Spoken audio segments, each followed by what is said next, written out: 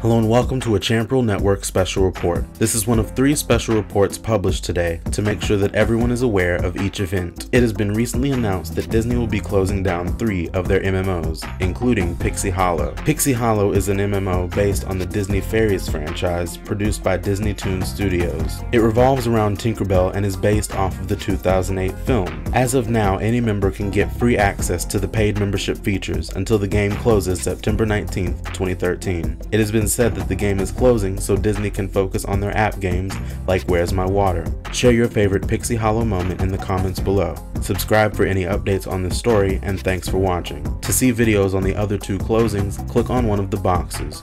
Or if you're on a mobile device, check the links in the description. Find more great videos at youtube.com slash champrul. This has been a Champrul Network production.